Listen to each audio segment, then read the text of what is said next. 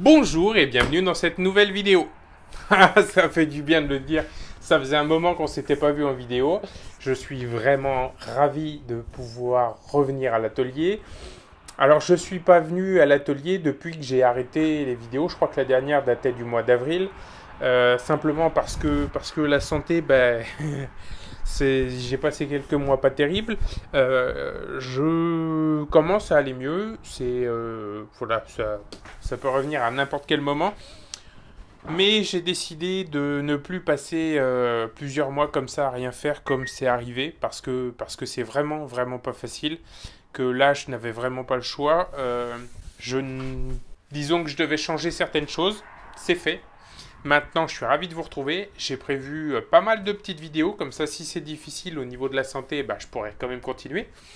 Et voici un exemple parfait d'adaptation euh, à l'atelier, de petites choses à adapter pour pouvoir travailler vraiment dans de meilleures conditions. Je vous mettrai une petite vidéo démo, la, la réalisation, et on se retrouve à la fin après. C'est quelque chose, l'établi, c'est un indispensable dans tout atelier. Je pense que vous en avez tous un. Si vous n'en avez pas, ben, cet établi peut vous plaire encore plus. Parce que mon établi principal est top. Il est à la bonne hauteur pour beaucoup de choses. Mais vous allez voir un exemple après avec du Kumiko. Euh, par exemple, j'ai réalisé ça vite fait là, pour la, démonstration, un petit hashtag. Euh, quand vous devez travailler à différentes hauteurs, ben, là c'est bien j'avais le tabouret, c'est-à-dire que je peux m'asseoir, je suis à hauteur. Par contre, quand vous devez scier et que vous êtes assis, c'est vraiment pas confortable et ça fait mal au dos. Quand je suis penché, ça fait mal au dos. Vous allez le voir dans la démo après. Là, je suis parfaitement à hauteur. Donc, je pourrais vous faire plus de vidéos confortablement installées. Allez, je vous laisse sur une petite démo, sur la réalisation, et on se retrouve à la fin pour une petite conclusion.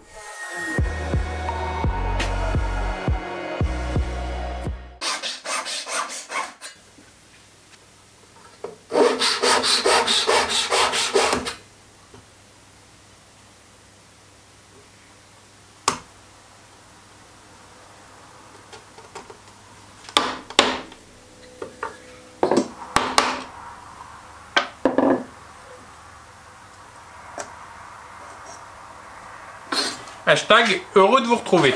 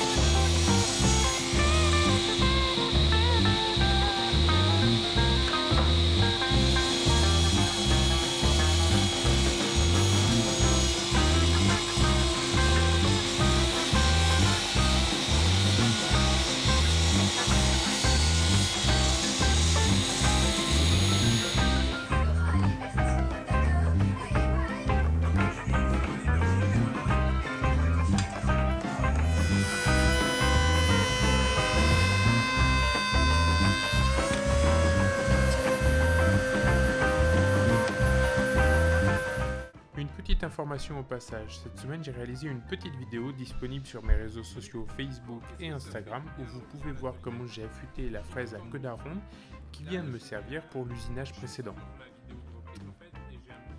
Tous les liens sont dans la description. On continue.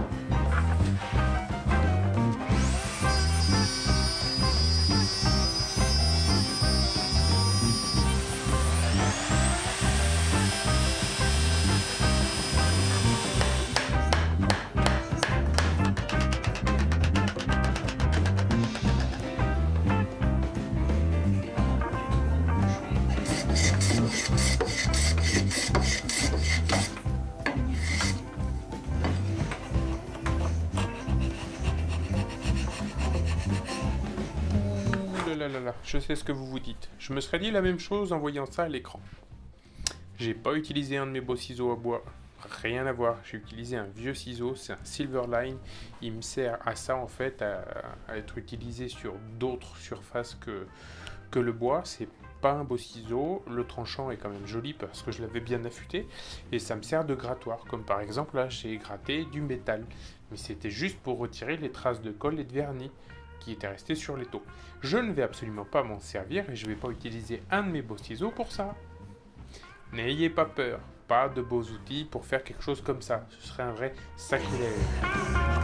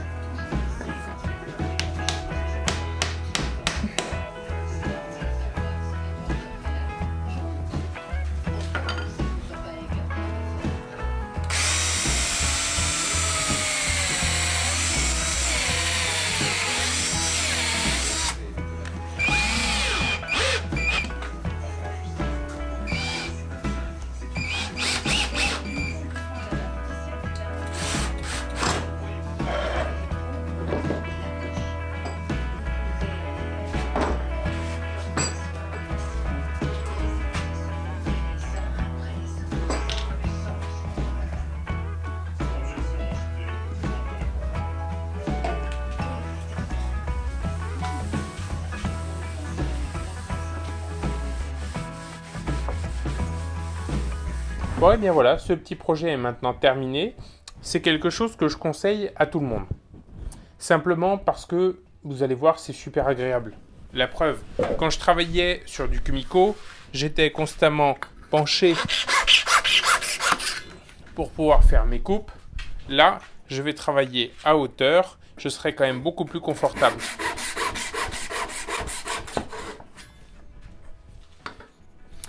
Quand je vais vouloir usiner mes petits Kumiko avec le ciseau, là je suis vraiment à hauteur. Alors si je suis assis, certes je suis à hauteur avec cet établi-là, mais je ne serai pas confortable. Mais cette hauteur-là, de l'établi principal, elle est parfaite pour certaines tâches, comme pour le rabotage, je suis parfaitement à hauteur. Donc je ne peux pas me permettre de relever celui-ci, à moins d'avoir un superbe établi réglable en hauteur euh, de façon instantanée. Là, je trouve que c'est le meilleur compromis.